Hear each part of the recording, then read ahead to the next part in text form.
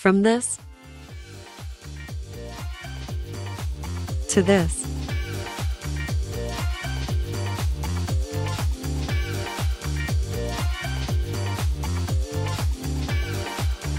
I use this model, linked in description.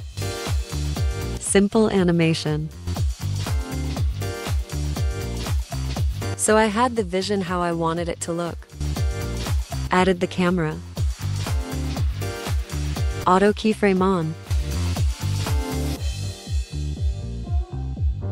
Looks like this one done.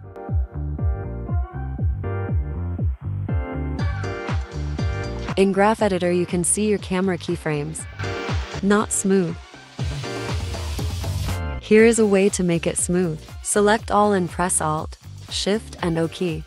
If you press Alt and O again it will be smoother. In Blender 3D, Shift plus R is repeating your last action, so instead of pressing Alt plus O many times, you can press it once and hold Shift and R. Looks like this. Now it's smooth.